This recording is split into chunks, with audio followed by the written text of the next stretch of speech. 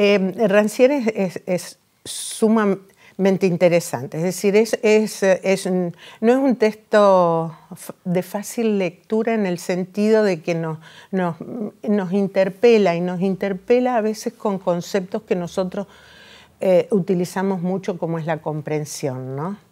Entonces él hace todo un retrabajo acerca de, qué entiende él por comprender, ¿no?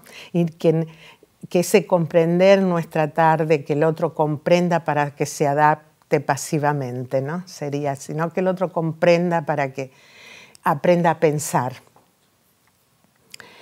Eh, lo, que, la, propuesta que hace Rancière es sumamente interesante en este sentido de que él dice, bueno, eh, somos custodios de ese orden moral policial. Es decir, nosotros nos convertimos en policía de mantener un orden. Y hace la gran diferencia entre moral y ética, ¿no? Porque dice, ¿qué irrumpe ese orden moral policial? Ese orden moral policial en las instituciones educativas eh, persiste. Persiste porque él dice, ese orden moral policial lo tenemos hecho cuerpo. No es que, es decir, a ver, hemos nacido y tenemos siglos en un orden capitalista. Y ese orden capitalista necesita un enfoque del conocimiento positivo.